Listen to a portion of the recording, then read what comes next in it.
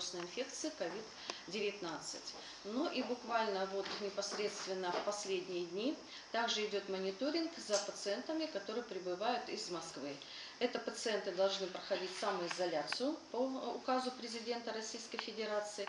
И если у них будут проявления острых респираторно-вирусных инфекций, они должны сообщить непосредственно нам, в Берскую центральную городскую клиническую больницу, когда мы будем решать вопрос по забору анализов и направлению в городскую инфекционную больницу номер один на госпитализацию, если это потребует.